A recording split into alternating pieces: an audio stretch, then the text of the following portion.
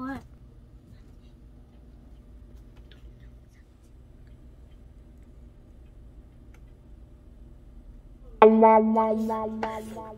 5월 4일 12시면 괜찮은데 5월 5일 12시요? 저는 아무것도 못해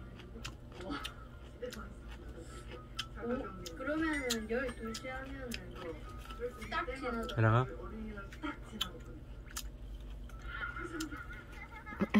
안 졸았어요 나.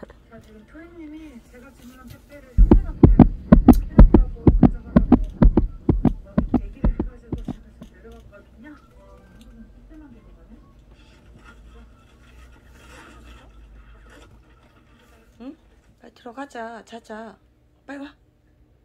해랑아 자자. 어머. 맨날 침대에서 자자 내가 왜? 와. 가자. 우리 간다. 빨리 와. 빨리 와. 진짜 삐졌다. 어 이런 적이 없는데 진짜 삐졌다.